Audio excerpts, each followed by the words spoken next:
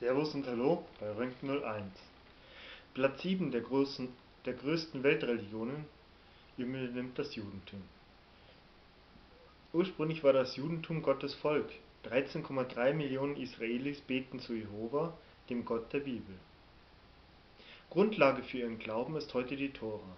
Die Tora besteht aus den fünf ersten Büchern Mose sowie aus rabbinischen Lehren.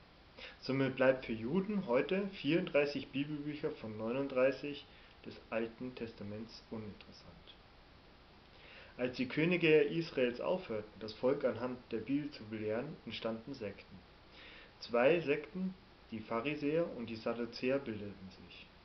Vor der Zerstörung Jerusalems im Jahr 70 etablierten sich dann fünf Sekten, die nach den Farben der politischen Banner benannt wurden Seit das Judentum im Jahr 1770 vor seiner Auflösung stand, splitterte es sich in weitere kleine Untergruppen auf. Einige dieser Sekten lehnen die Aussprache von Gottes Namen Jehova heute ab, da sie wegen ihrer falschen Glaubensansichten fürchten, wegen der Aussprache für die von Gott bestraft zu werden.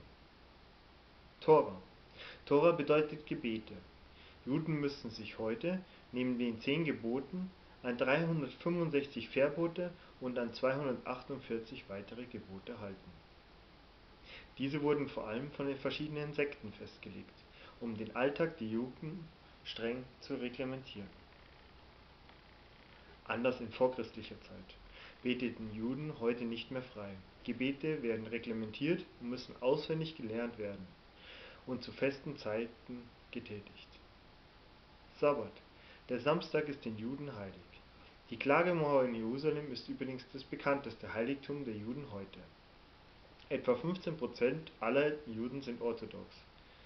Das ist die radikalste Form des Judentums. Sie sprechen heute den Namen Gottes auch nicht aus. Es handelt sich um eine Minderheit innerhalb des Judentums. Sie sind der Meinung, Gewalt gegen andere Religionsgemeinschaften wäre berechtigt. Euer Rank 01 ich hoffe, die Playlist gefällt euch. Ich hoffe, ihr schaut euch noch die anderen Religionen an und wünsche euch viel Spaß dabei. Servus.